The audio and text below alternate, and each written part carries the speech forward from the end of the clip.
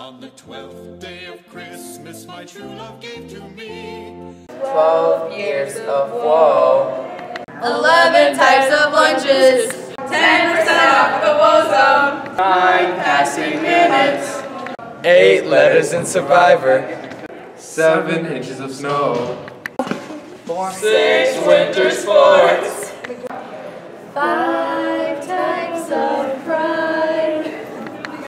Four snowball throwers. Three different trash cans. Two times of lunches. A great school, an awesome place to be. Woo!